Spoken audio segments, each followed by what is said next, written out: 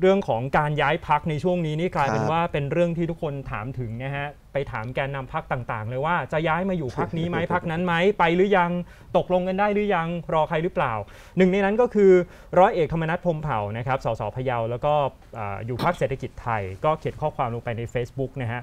พูดถึงเรื่องของการย้ายพักเพราะว่ามี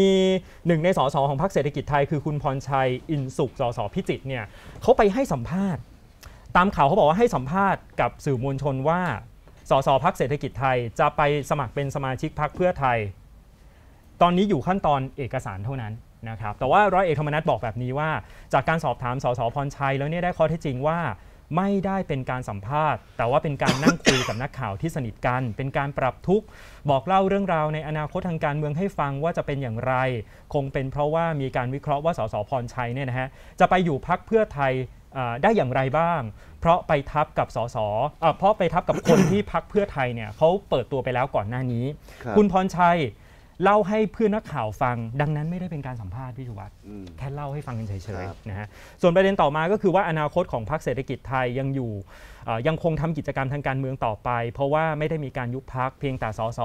ที่เป็นกรรมการบริหารพักเนี่ยชุดเก่าสิ้นสภาพไปแล้ว เนื่องจากผมเป็นหัวหน้าพักและได้ลาออกไปแล้ว ก็มีการตั้งเลขาและกรรมการบริหารพักชุดใหม่นะครับเอ่อส่วนการประชุมที่จังหวัดระยองเนี่ยพะเยาเนี่ยนะครับคุณธรรมนัฐบอกว่า เป็นขั้นตอนแรกของสมาชิกพักที่การลาออกของกรรมการบริหารพักจากนี้ต่อไปสสของพรรคเศรษฐกิจไทยทั้งหมดจะตัดสินอนาคตทางการเมืองอย่างไร เรายังไม่คิด เพราะว่ายังมีเวลาพอประมาณ ให้ใกล้ๆ ช่วงที่สถานการณ์การเมืองมันชัดเจนก่อนครับนะเพราะว่าตอนนี้เปลี่ยนแปลงตลอดก็จะมีการประชุมและกำหนดอนาคตทางการเมืองของอาพรรคต่อไป แสดงว่าไปแน่แต่ยังไม่ตัดสินใจจะไปไหน แปลว่ายังไม่รู้สถานการณ์อาจจะเปลี่ยนก็ได้ อ่า เลยยังไม่กล้าฮะมัดตัว ผมว่าแปลว่ารู้แล้วแต่ยังแปลว่ารู้แล้วมคือตอนนี้แต่ ใครจะไปในในพักไหนเขาพูดกันหมดเขารู้หมดแล้วอะแต่ว่าจะพูดเมื่อไหร่ตอนไหนแค่นั้นเองเพราะว่าครับมันมีหลายปัจจัยไงอย่างเช่นอืมพักที่จะไปจะมีประเด็นนู่นนี่แฟนคลับครับพักนั้นพักนี้จะว่าอะไรหรือเปล่าครับครับแต่คือแต่มันคุยกันไปหมดแล้วครับเรื่องพวกเนี้ย เท่าที่คุณธรรมนัฐเล่าให้ฟัง ครับ ทั้งพืชเลือกการบริการเอ่อการประชุมกรรมการบริหารพักไปถึงอืม เรื่องของคุณพรชัย ให้สัมภาษณ์หรือเปล่า แล้วคุณครับพรชัยบอกว่าไม่ได้ให้สัมภาษณ์แต่เล่าให้ฟังมันก็คืออมสัมภาษณ์นี่แหละอืมเพราะฉะนั้นข้อมูลมันอืมไม่มีใครปฏิเสธครับเอางี้ทั้งคุณธรรมนัฐเองก็ไม่ได้ถึงขนาดบอกว่าปฏิเสธ ภาษาอังกฤษเขาเรียกว่าข่าวทั้งหมด only a matter of time อืมเพราะในทางการเมืองเนี่ยเปิดให้ถูกจังหวะมันจะดีครับไม่งั้นมันจะเหมือนตอนกรณีคุณบุญจงอ่าใช่ไหมครับที่ออกมาเปิดไม่ดีจังหวะไม่ดีปุ๊บเนี่ยคนก็ไม่พอใจเกิดอืมดราม่าขึ้นมาอืมเพราะฉะนั้นเนี่ย ตอนนี้ใครจะไปพักไหนเนี่ยผมคิดว่าเขาคำนึงเรื่องเวลากันว่าจะเปิดครับจึงเป็นทางการตอนไหน เพื่อจะให้มันไม่เกิดเรื่องขึ้นแค่นั้นเองครับาแต่พอมีข่าวมาแบบนี้เหมือนพยายามให้แฟนคลับของแต่ละพักเริ่มยอมรับมากขึ้นไหมฮะเหมือนเหมือนรู้สึกว่าอะทำใจไว้ก่อนล่วงหน้าว่ายังไงก็ต้องมานะถ้าอยากจะได้เป้าหมายนี้ ก็ก็ได้ประโยชน์หลายทางไงอืมมันทางหนึงก็คือโยนหินถามทางอ่าใช่ไหมฮะว่าเฮ้ยคนโอเคไหมหรือทางหนึงก็คือค่อยๆเพิ่มอืมการรับรู้ของคนอ่าแล้วก็เริ่มค่อยๆยอมรับอ่า หรือว่าจำยอมรับอะไรเงี้ยก็ว่าไปครับอืมครับผมคุณหมอชนละนานสีแก้วครับตอบประเด็นนี้ด้วยนะฮะเพราะว่าเมื่อวานนี้คุณหมอไปที่พักนะฮะบอกว่า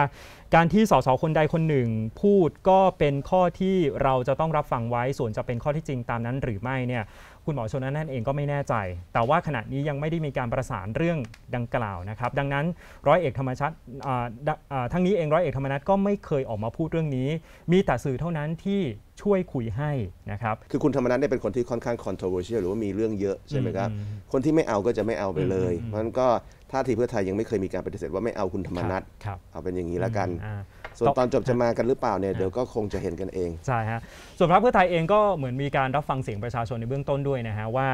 มันก็มีหลายความเห็นนะกรณีที่ร้อยเอกธรรมนัฐจะมานะครับลักษณะแรกก็คืออาจจะไม่เห็นด้วย แต่ว่าถ้าเป็นเป้าหมายแลนด์สไลด์ก็พอรับได้ 2 ก็คือเห็นด้วยเลยมาไม่เป็นไร หรือว่า 3 ก็คือไม่เห็นด้วยเลย อันนี้แสดงว่าพรรคเพื่อไทยก็รู้กระแสสังคมอยู่พอสมควรเหมือนกันนะฮะว่าถ้ามาแล้วจะเกิดอะไรยังไงขึ้นบ้างนะครับผมว่าอาจจะเป็นอีกปัจจัยปัจจัยหนึ่งที่สำคัญก็คือเรื่องของการผู้สมัครระดับท้องถิ่น ซึ่งเพื่อไทยมีการเปิดตัวอ่าที่ภาคเหนือไปเรียบร้อยแล้วอ่าใช่ไหมครับซึ่งคุณเศรษฐกิจไทยก็มีคนของเขาเหมือนกันอืมเพื่อๆอันนี้อาจจะเป็นปัจจัยสำคัญที่อาจจะต้องจะเอ่อดูว่าจะพูดคุยกันยังไงอืมเพราะแต่ละพักก็มีคนที่ตัวเองเปิดตัวในพื้นที่ไปแล้วทั้งคู่อืมทีนี้ต้องผมไม่แน่ใจว่ามันทับซ้อนกันเยอะไหม มันต้องดูจำนวนพะเยาไม่ใช่จังหวัดของใหญ่ไงเออมันต้องดูจำนวนของเศรษฐกิจไทยสิบกว่าคนที่จะมาอืมว่ามันไปทับซ้อนไหมหรือบางคนที่ไปเนี่ยมันไปไปไปภูมิใจไทยแล้วเนี่ยครับเพราะว่าเศรษฐกิจครับไทยมีบางคนที่ไปภูมิใจไทยอืมอืมอืมอืมนะฮะอะเอ่อเผื่อคุณหมอชลนานดูอยู่นะฮะดูจากความเห็นของผู้ชมใน YouTube แล้วค่อนข้างจะเป็นข้อที่ 3 นะฮะ คือไม่คือไม่ค่อยเห็นด้วยใช่ไหมฮะออไม่เป็นไรค่อเดี๋ยวห็พวกค่อยเห็นด้วยไงอ่าอ่า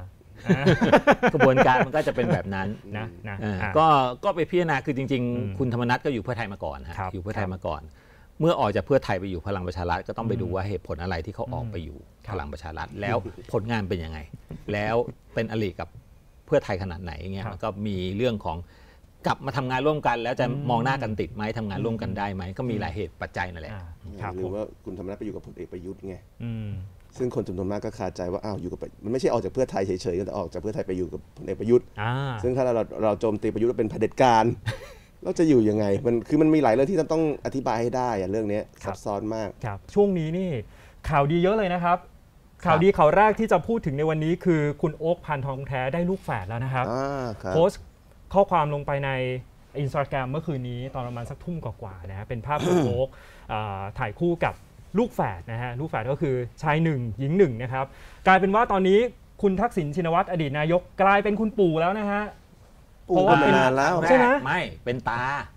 อ๋อก่อนหน้านี้เป็นตาไงลูกผู้หญิงสองคนอ๋อเออเออใช่ไหมผสับสนภาษาไทยครั้งนี้เป็นครั้งแรกที่เป็นใช่ปู่ คุณเอมเออมีใช่ลูก 3 คนฮะนะครับแฝดแฝดคู่แรกเนี่ยจะเป็นหญิงหญิงฮะนะคนที่ 3 จะเป็นผู้ชาย ส่วนคุณอิง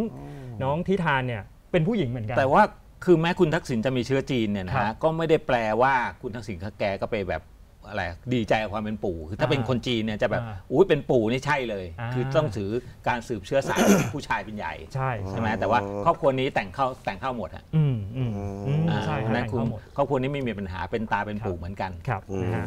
ก็นอกเหนือจากที่คุณโอ๊คได้โพสต์ภาพนี้แล้วนะครับ พร้อมกับลูกแฝดทั้งสองท่านนะครับสองคนเนี่ยนะฮะ